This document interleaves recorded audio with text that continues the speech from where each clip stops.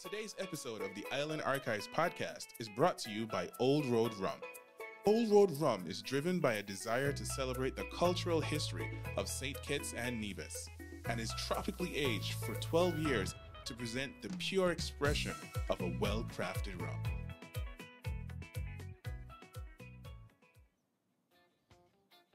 Today's episode of the Island Archive podcast would teach us about a famous figure who did math that was both right and wrong.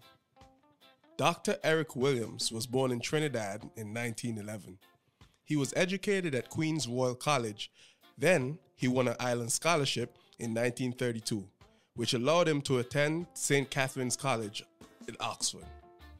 In 1935, he received his BA in History and wanted to continue his studies, but found it difficult to secure the funding necessary to continue his research. A breakthrough came, however, in 1936 after he received a 50 pound grant to continue his research in history at Oxford due to the recommendation of Sir Alfred Claude Hollis, the governor of Trinidad and Tobago at the time. In 1938, he went on to obtain his doctorate under the supervision of prominent British historian Vincent Harlow. His doctoral thesis posited a theory that economics was a key driver, if not the motivation, for the end of African slavery, which was counter to the then popular idea that abolitionism was propelled by humanitarian and benevolent impulses.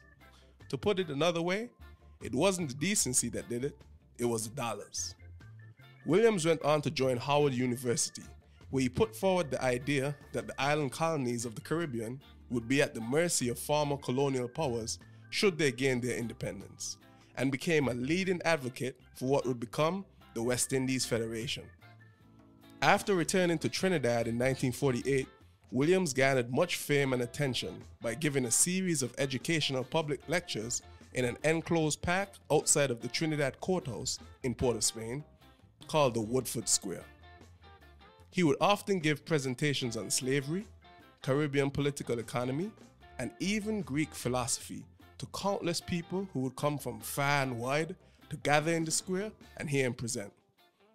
Williams famously nicknamed the area the University of Woodford Square in a legendary speech which led to his rise in prominence.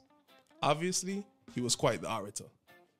To the surprise of no one, Williams inaugurated his own political party, the People's National Movement, or PNM, in 1956, which would take Trinidad and Tobago into independence in 1962 and dominate its post colonial politics.